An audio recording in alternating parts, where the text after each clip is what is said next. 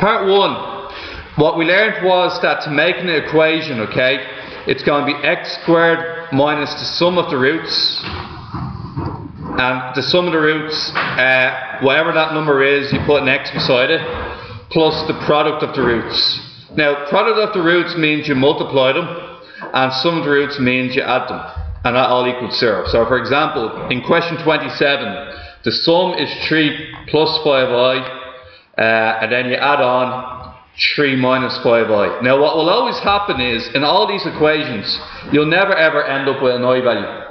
They always disappear. So we're going to get 3 plus 3, which is 6. So that's going to be a 6 in here. And then the product of the roots is going to be 3 plus 5i, and then 3 minus 5i. And this is the product in blue. 3 multiplied by 3, 9. 3 multiplied by 5i minus 15i 3 multiplied by 5i plus 15i, 5i multiplied by minus 5i, minus 25i squared. 15i's as predicted cancel. Now what's uh, minus 25i squared? Plus 25. 25 plus 9? 34. So guys, the answer there, that'll be 34. So the answer is going to be x squared minus 6x uh, plus 34 equals 0. Is that okay? Okay. Now we're going to move on to number. Uh, we're going to move on to uh, part 28. Okay. Now, number 28. Once again, sum of the roots means add them together. The roots are 4i and minus 4i. What happens when you add them together? Zero. So the sum is zero. Okay? Now we're on the product. And the product is it means you multiply them together.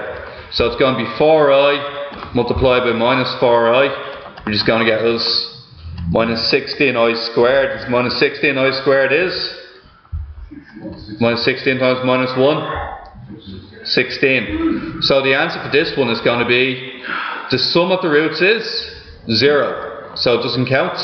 The product of the roots, 16. So we're going to get x squared plus 16 equals 0. Is that okay? Alright guys, now moving on to 32. Now, what I asked us about 32 was that in all these questions for complex numbers, if this one is a root, what does it mean the other root is?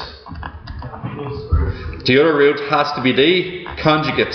Because look at in all the previous questions, you always have plus or minus, which is a, which is a which is a root and its conjugate. So remember, we're going to do the exact same thing as last time. x squared minus sum times x plus product.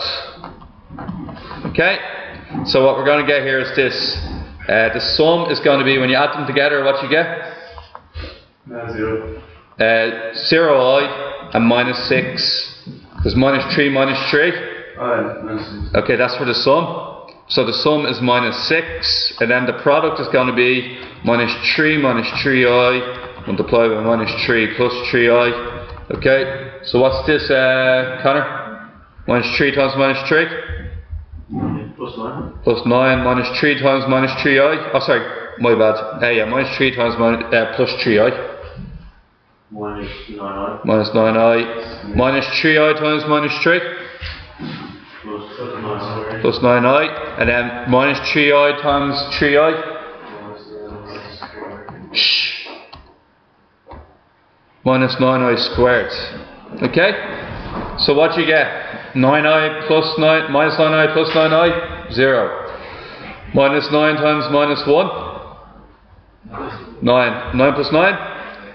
18. So the answer to this is going to be x squared.